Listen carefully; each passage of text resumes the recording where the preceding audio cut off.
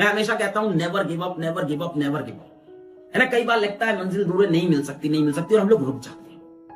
यहाँ हम लोग गलती हमें चलते रहना होता है।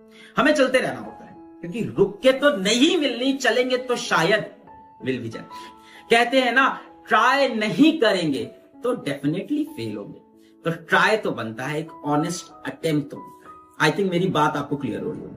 तो अपने अंदर से सेल्फ डाउट को हटा दो। आज से आपके मम्मी, पापा, दोस्त आपसे कोई भी पूछे क्रैक हो पाएगा क्या? इस बार डेफिनेटली आंसर तो यही दो डेफिनेटली क्योंकि आप उसी के लिए मेहनत कर रहे हैं। है ना? अपने सपने से प्यार करना शुरू कर जब वो चीज़ आपका प्यार बन जाएगी ना तो उसके लिए आप अटूट मेहनत करोगे और अटूट भरोसा रखोगे कि आपको उसे पाना आई थिंक मेरी ये बातें आपको क्लियर हो गई होगी कि गिव अप नहीं करना है या लड़ते रहना है, मंजिल दूर रहना चलते रहेंगे चलते रहेंगे चलते रहेंगे चलते रहेंगे तो पहुँच सकते हैं, पर अगर रुके रहेंगे तो बिल्कुल नहीं पहुँच सकते। ऐसा नहीं है कि हर बार लाइफ में जब मैंने ट्राई किया तो हर बार मैं सक्सेसफुल रहा बिल्कुल नहीं पर जब मैं ट्राई नहीं करूँगा, तब तो मैं सक्सेसफुल नहीं तो हमेशा आपको उम्मीद होनी चाहिए, खुद के ऊपर अटूट भरोसा होना चाहिए।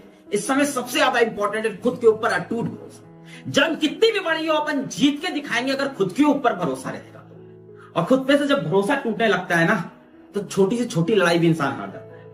आपने देखा कितने बड़े बड़े क्रिकेटर्स हुए, कितने बड़े बड़े स्पोर्ट्समैन हुए, कितने बड़े बड़े रेसलर्स हुए छोटे छोटे मैच हार जाते हैं। क्यों? क्योंकि उनके अंदर से सेल्फ कॉन्फिडेंस खत्म हो जाता है। मैं हमेशा कहता हूँ never give up never give up never give up है ना? कई बार लगता है मंजिल दूर नहीं मिल सकती, नहीं मिल सकती, और हम लोग रुक जाते हैं।